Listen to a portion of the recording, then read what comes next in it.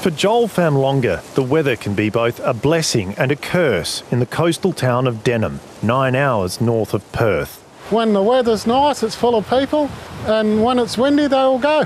But it's thanks to Denham's abundance of sun and wind that a groundbreaking renewable energy project is about to start. Joel Famlonga, for one, is all for it. Well, it's something you don't think a lot about, but it's good that they're trying this sort of thing in a small town like this anyway.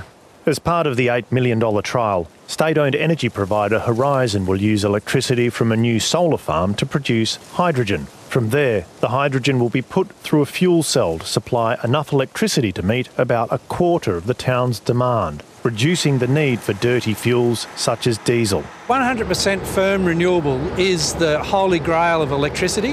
This is what everybody's trying to achieve right around the world.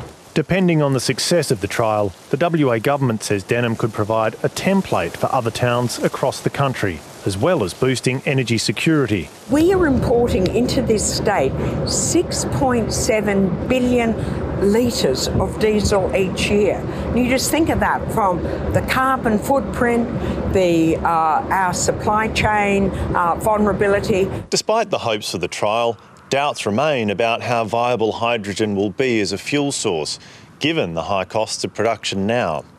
Horizon Power, though, is hopeful, saying trials like the one in Denham will help make hydrogen more affordable. Because the future's there to be grabbed, and it's just a matter of having all of the right settings now to go do it. This shows you it can be done. A potential glimpse of Australia's green energy future on the sun drenched west coast. Daniel Mercer, ABC News.